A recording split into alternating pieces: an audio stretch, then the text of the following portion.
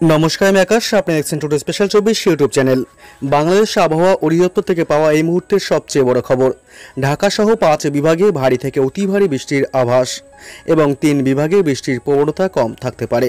সাথে দমকা হাওয়া সহ বজ্রবিদ্যুৎ বিভিন্ন জেলায়।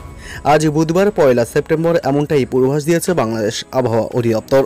কোন কোন জেলায় আজ বজ্রবিদ্যুৎ সহ বৃষ্টি হবে, কখন থেকে শুরু হবে, আরও কতদিন চলবে একটানা বৃষ্টি, কি জানালো আবহাওয়া অধিদপ্তর, জানিয়ে দেবো বিস্তারিত ভিডিওতে।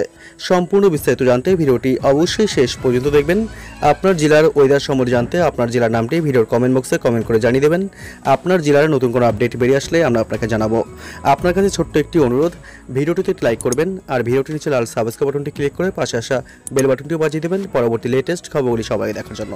ঢাকা সহ পাঁচ বিভাগে বেশি এবং তিন বিভাগে কম বৃষ্টিপাতের পূর্বাভাস দিয়েছে আবহাওয়া অধিদপ্তর।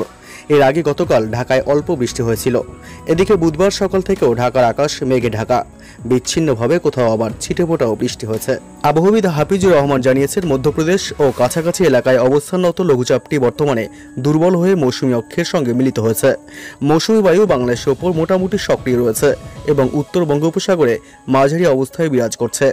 তিনি আরও জানিয়েছেন, পয়লা সেপ্টেম্বর সকাল নয়টা থেকে পরবর্তী চব্বিশ ঘন্টায় রংপুর, ঢাকা, ময়মনসিংহ, চট্টগ্রাম এবং সিলেট বিভাগের অনেক জায়গায় এবং রাজশাহী, খুলনা ও বরিশাল বিভাগের কিছু কিছু জায়গায় অস্থায়ীভাবে দমকা হাওয়া সহ হালকা থেকে মাঝারি ধরনের বৃষ্টির সাথে বজ্রসহ বৃষ্টি হতে পারে। সেই সঙ্গে দেশের কোথাও কোথাও বিক্ষিপ্তভাবে মাঝারি ধরনের ভারী থেকে অতি ভারী বৃষ্টি হতে পারে।